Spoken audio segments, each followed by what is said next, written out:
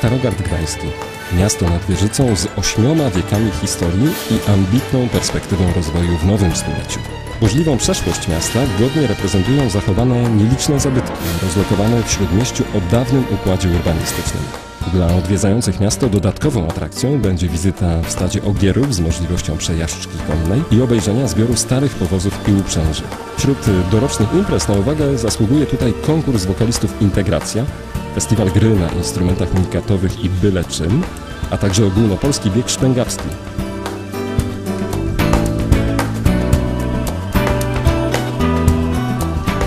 Najmłodsze miasto Kociewia, Czarna Woda, zaprasza na Mistrzostwa Świata w kajakach polo. Osiek od lat corocznie w sierpniu gromadzi tłumy fanów na Międzynarodowym Festiwalu Muzyki Chrześcijańskiej Gospel, a w szlachcie spotykają się entuzjaści kociewskiej gry kapeli.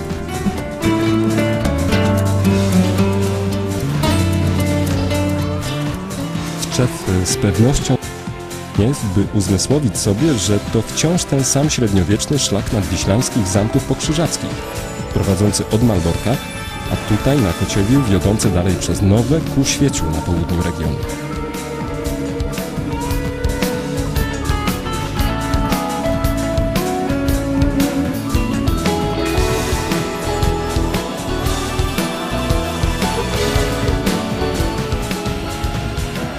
Ostatnie lata przyniosły wyraźne ożywienie zwłaszcza agroturystyki, którą na Kociewiu łączy się z dodatkowymi atrakcjami.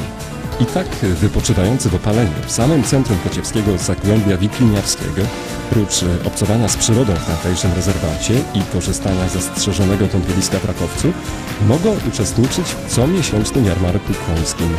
Zażywający wypoczynku pośród jabłoniowych sadów mają do dyspozycji pole golfowe. I tak długo jeszcze można pewnie żyć.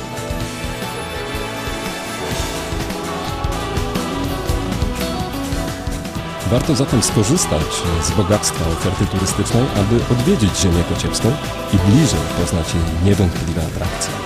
Piękne i gościnne Kociewie najserdeczniej zapraszam.